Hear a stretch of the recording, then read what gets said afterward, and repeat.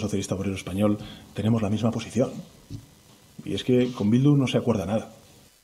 Pues miren, por una vez ha dicho una verdad. Bienvenidos a Con España Cuesta. Ha dicho que tienen la misma posición el Partido Socialista, el suyo, y el de Navarra, efectivamente, la de mentir todas las veces que haga falta. Les da olímpicamente lo mismo. Si hace falta hermanarse o acostarse con gente de Bildu, con proetarras, les da olímpicamente lo mismo. En eso tiene razón. Ahora, en lo de que no iban a pactar, que no iban a pactar, luego les vamos a poner eh, todas las declaraciones que han hecho, porque además ahora nos pretenden hacer creer que han pactado porque son buenos chicos. Los famosos herederos de ETA son buenos chicos.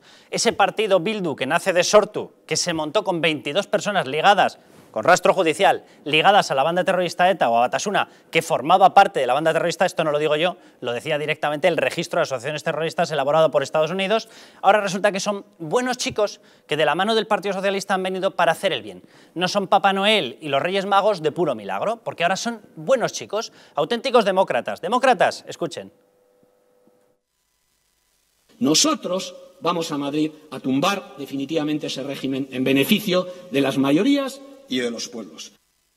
Este señor es simple y llanamente, igual que su partido, estalinistas. Algunos dirían fascistas. Bueno, también podríamos decirlo. ¿Por qué? Porque el fascismo procede del socialismo. De ahí salió Benito Mussolini. Lo digo para los analfabetos que sigan pensando que esto del fascismo no tiene nada que ver con la izquierda. Bueno, pues efectivamente son, llámenlo ustedes como quieran, o estalinistas o fascistas. Son dictatoriales. ¿Han escuchado esa frase? Esa frase es del mismo día en el cual se consagró el pacto ya definitivo, ya abierto, ya por fin diciéndoselo a todo el mundo, antes lo teníamos que decir simplemente a algunos y nos tachaban de todo. Bueno, pues ahora ya lo tienen ahí, el pacto entre Pedro Sánchez y los proetarras ciscándose en todo lo que haga falta, en las víctimas propiciadas por ETA, en los asesinatos de ETA del Partido Socialista, pues también, ¿qué más da? O sea, todo vale con tal de continuar en la Moncloa, con tal de continuar en el Falcon, con tal de continuar con el jamón 5J, todo lo que haga falta con tal de que Pedro Sánchez siga al frente de la Moncloa. ¿Que tiene que pactar con proetarras? Pues se pacta con proetarras, con golpistas, pues con golpistas, se engaña a los tontos de los votantes, se les dice que nunca lo haremos y luego se hace, ¿qué más da? Si somos socialistas se nos va a perdonar todo, para algo tenemos un inmenso poder en la inmensa mayoría de medios de comunicación. Este es el planteamiento real. Pero le han escuchado a esta persona. Atención a su frase. Venimos a tumbar el Estado. Venimos a derrocarlo.